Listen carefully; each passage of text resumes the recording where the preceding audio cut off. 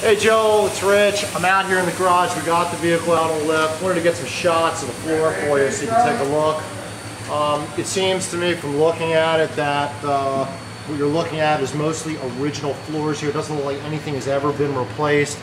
Structurally, uh, it looks pretty solid, uh, even down to the floor. In fact, over here, if you look at this over here, you can see that it was covered with undercoating, and that is the original Tiger Green paint right there by my finger.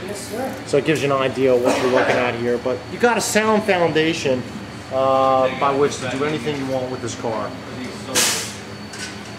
I hope this all helps you out.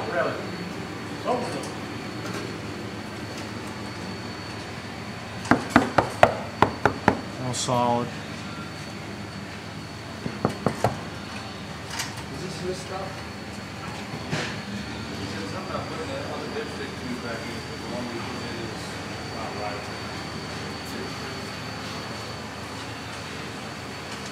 Jack Mountain forms look good.